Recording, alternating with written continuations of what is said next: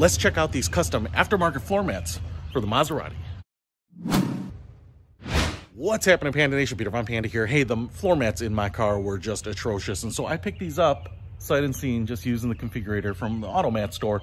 And these aren't the highest end ones, which I think they called luxury touring or something. These are the select touring, and that's because I've actually ordered the highest end ones before, and they have like a really deep pile, but they have kind of like a loop stitched to them, so they don't look like original equipment floor mats, but this one has much more of that carpet feel. And it's the second highest one, which I think they call Select Touring. So it's supposed to be a little thicker than um, the factory one. You can see the stitching on the edge there, which looks pretty nice. They are pretty thick and heavy. Uh, they should be custom cut to the exact size, and they do have grommet holes in the bottom, which I actually am not even sure that my car has, but that's what they did. Now, I actually ordered a set of four, but uh, the rear mats in my car are just fine. So I'm only going to replace the front ones. Let's try them out.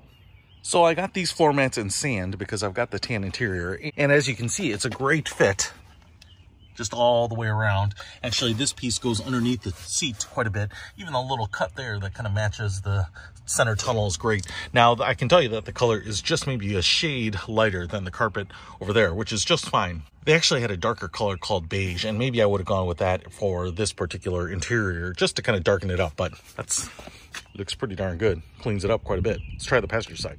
And as expected, another great fit. You can see all the way around. Misses the frame rails perfectly. I do like the color. It is pretty close.